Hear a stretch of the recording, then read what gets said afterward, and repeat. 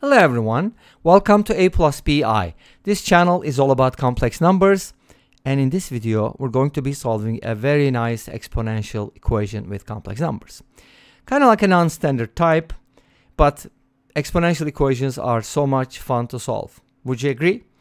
Anyways, we have 3 to the power z equals negative square root of 3, and we're going to be solving for z values. I'm also going to be showing you the result from Wolfram Alpha, Let's find out if that agrees with what I found. Okay, so if we did not have the minus sign, everything would be better, right? Don't you think? So if we had 3 to the z equals square root of 3, you would probably think about it as, okay, this is 3 to the power 1 half, z equals 1 half, case closed, we can go home. But that's not the case. That's not the case. We have a minus sign. And that's what makes this equation more and more interesting. It just adds another level of complexity. Okay, so let's see how we can solve it. We have 3 to the power z, which is an exponential, but we're going to use Euler's number for our exponentials, okay? Because it's better and we can definitely uh, compare them easily. So here's what we're going to do. How do you write 3 to the power z using e as a base? And there's a formula or something called complex exponentiation, a complex number to the power of another complex number, this can be written as e to the power z ln 3. Make sense? Fairly easy, right? And if you replace a 3 with something else like w, it's going to be e to the power z ln w. How do you find the log of a complex number? That's a good question, but in this case, we have the ln of a real number, so we should be good, okay? So that's 3 to the power z, great. What about the other side? The other side is more interesting. How do you write negative root 3 using e as a base? It's not a power of e. Well, everything is because, probably except for 0, right? Everything is because of Euler. Thanks to Euler, we have something called a polar form. Any complex number z can be written as r e to the i theta, where r, r is the modulus or the absolute value, and theta is the argument or the angle. Make sense? In this case, we have negative root 3, so its modulus would be root 3, so I should multiply root 3 by something like e to the power i theta. Notice that I just need to multiply by negative 1. But what is negative 1 in the complex plane or argand plane? I guess I should spell out argand so people don't make a mistake about it. Yes. Where does that come from? I seriously do not know. Maybe a guy named Argand found this first and it was named after him. But anyway, so we have something like this, a real axis and an imaginary axis, and negative 1 is basically going to be right here.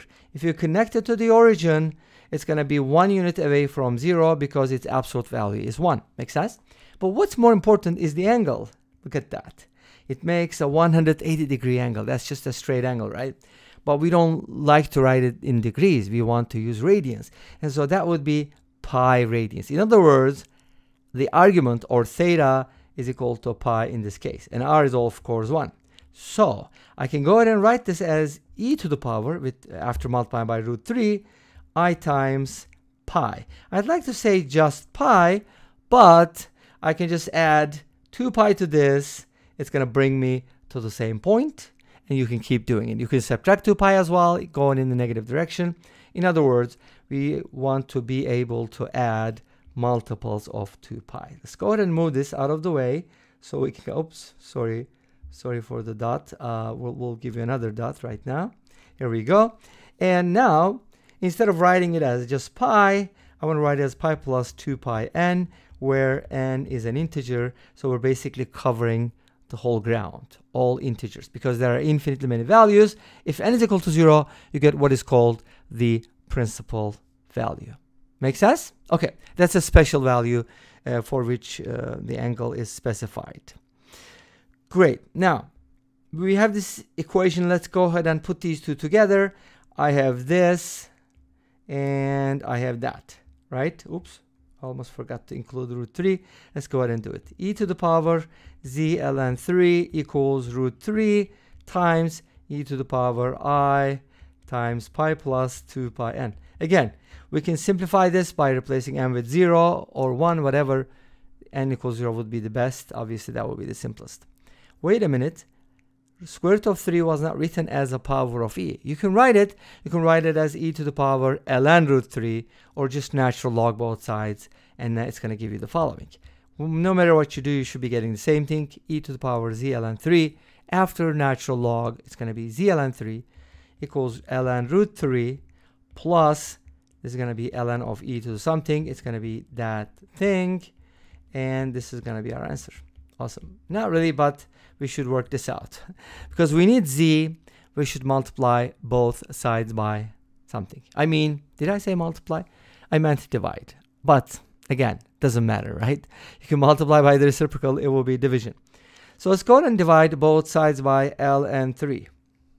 And that'll give us z by itself, so we're done, right? Well, let's simplify this. Don't, don't you think this needs to be simplified a little bit? Okay, so here's what we're going to do. We're going to separate the real and imaginary parts because z is a complex number. Come on. What's the name of this channel? a plus bi. So z is going to be like in the form of a plus bi. Has a real part, imaginary part, which is multiplied by i. And that makes up the complex number, right? So let's find out.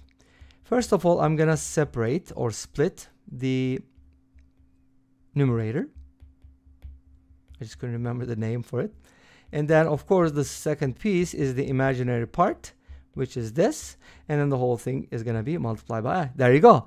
a plus bi. You know what a and b are, right? In this case? Great. So you can leave it like that, but we like to simplify things as much as possible. And of course, teachers like them too. A lot of times you're going to lose points if you don't simplify your answer. Okay. And we can do that by writing ln root 3 as ln 3 to the power 1 half. And we have a logarithmic rule that says, hey, you can bring it to the front. So it's going to be like 1 half ln 3 divided by ln 3. And that's just awesome. You know why? Because ln 3 cancels out and we end up with a rational number, which is kind of interesting. We'll talk about that. When ln 3 cancels out, we end up with 1 half and then a piece that is imaginary, right? If n is equal to 0, we're going to get a simpler one, but let's go ahead and write the general formula before we annoy some people first. So that's going to be the answer. So that's z in the simplest form. But what is it numerically approximately? You can go ahead and plug in the values or use a calculator, whatever. It'll give you some answer. But let's simplify this a little bit more or just look at the principal value. If n is equal to 0, then z becomes 1 half plus pi over ln 3 times i. Some people write it as a plus ib, which is something that I don't necessarily like. I'm not a big fan, at least, because I like to write it as a plus bi, but no big deal. When we write in trigonometric form, we always write the i before the sine of theta, so it becomes like cosine theta plus i sine theta. Make sense? Because if you write it like this, this could be somewhat confusing, don't you think? Is it sine theta i or is sine theta multiplied by? Instead, of using parentheses, we just put an i here and it's going to be good. Okay, so that's the answer. But here's what I'd like to say. Final words here for this video, right? There's a one half. Uh, what is the significance? Now, if you remember the, uh, I was going to say formula. The problem was this, right? Now, what would happen if you remove the minus sign? Z could become 1 half. That's where the 1 half comes from. It comes from the real world, but since the answer is not real, we also need to have an imaginary piece. And this brings us to the end of this video. Thanks for watching. I hope you enjoyed it. Please let me know. Don't forget to comment, like, and subscribe. I'll see you next time with another video. Until then, be safe, take care, peace, and bye-bye.